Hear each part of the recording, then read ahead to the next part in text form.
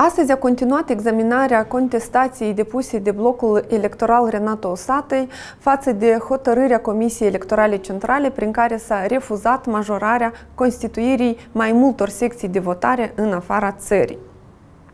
În cadrul ședinței de astăzi, un reprezentant al concurentului electoral a solicitat suspendarea examinării cauzei, Ehm, cerând de la judecătorii de la Curtea de Apel să transmită cauza spre soluționare Curții Constituționale.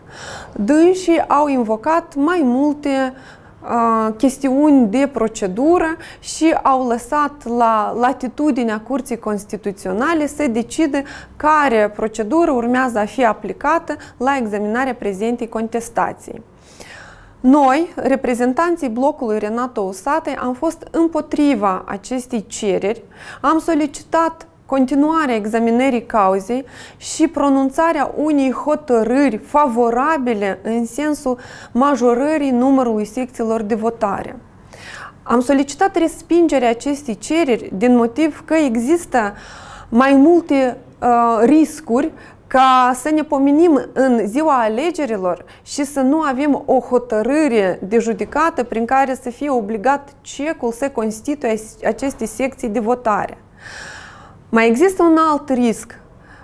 și anume, Curtea Constituțională poate să se expună în termen, să zicem, de o săptămână, două, referitor la admisibilitatea acestei sesizări, să dea soluții referitor la procedura care urmează a fi uh, respectată de către Curtea de Apel, să transmită cauza spre soluționare cu hotărâri deja uh, Curții de Apel și această hotărâre a Curții de Apel chiar dacă ea va fi una favorabilă, ea nu va putea fi pusă în executare.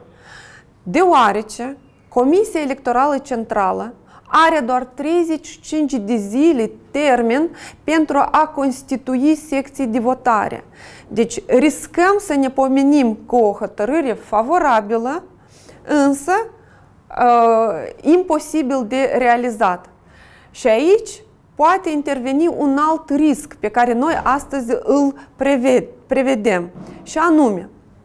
după consumarea alegerilor din data de 11 iulie 2021, Curtea Constituțională urmează să se expună asupra validării sau invalidării alegerilor parlamentare. Și în cazul în care o să avem o hotărâre prin care a fost obligat cecul să constituie mai multe secții de votare, însă această hotărâre nu a fost executată din cauza termenului mic atunci putem să ne trezim că Curtea Constituțională pur și simplu nu va valida aceste alegeri. Și din asta o să aibă de pierdut întreaga societate. Deci, noi avem drept scop să curățim acest parlament de toți oamenii corupți, motiv pentru care am pledat pentru alegeri anticipate și acum din cauza acestei tergiversări în examinarea prezentei contestații, putem să ne pomenim în situația în care Curtea Constituțională va avea toate temeiurile să nu valideze alegerile parlamentare anticipate.